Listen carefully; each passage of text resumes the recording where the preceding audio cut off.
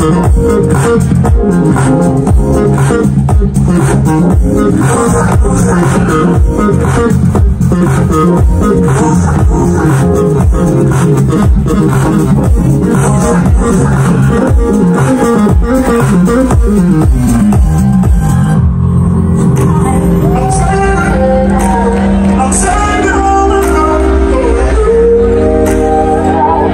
Who here doesn't love slap bass though?